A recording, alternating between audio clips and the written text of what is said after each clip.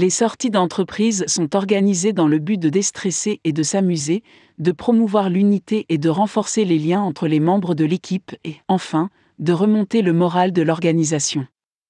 Certains groupes d'entreprises choisissent d'organiser leurs sorties quelques mois avant la fin de l'année civile, tandis que d'autres préfèrent les organiser pendant l'été. Quelles sont les meilleures suggestions pour les sorties d'été en entreprise? Qu'il s'agisse d'un week-end, d'une nuit ou d'une excursion d'une journée, voici quelques suggestions d'escapades estivales. 1. Sortie à la plage. C'est de loin le choix le plus populaire parmi les entreprises. Station balnéaire de Laguna ou Taguete, plage de Zambal, Palawan, Puerto Galera ou Boracay, la grande variété de lieux à choisir offre de nombreuses possibilités pour se détendre et évacuer le stress.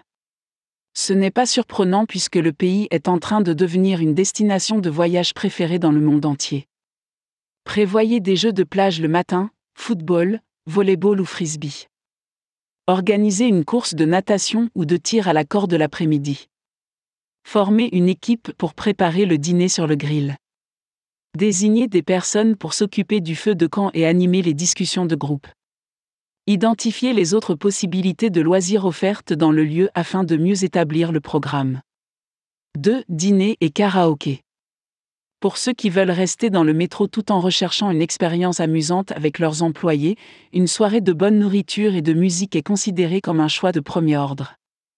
Elle nécessite peu de préparation mais promet un excellent exutoire aux projets stressants et aux horaires chargés auxquels les employés sont généralement confrontés. Organisez-la un vendredi soir d'été, lorsque la ville est très animée. Essayez différentes cuisines qui satisferont les papilles les plus délicates.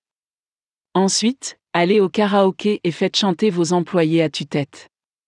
Laissez-les profiter de la compagnie des autres dans un cadre très détendu et confortable.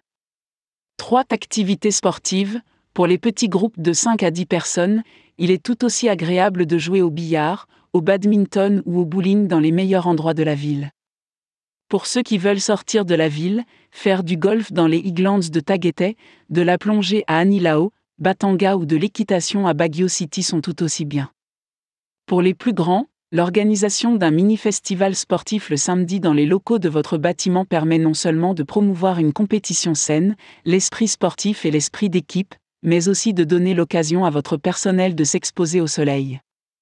Répartissez-les en équipes, organisez des matchs de basketball ou de volleyball et offrez des primes spéciales aux groupes gagnants.